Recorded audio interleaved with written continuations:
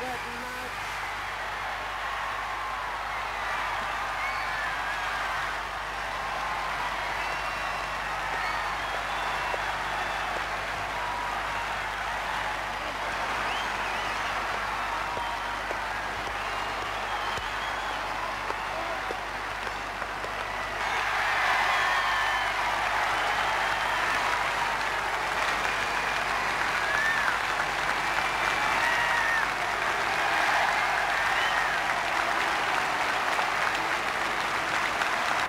Do you consider that this win makes you the best player around now?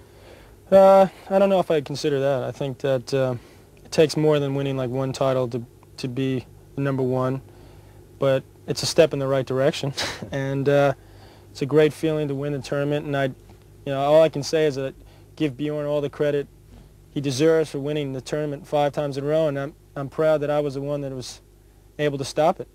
It's a great feeling. Mm -hmm.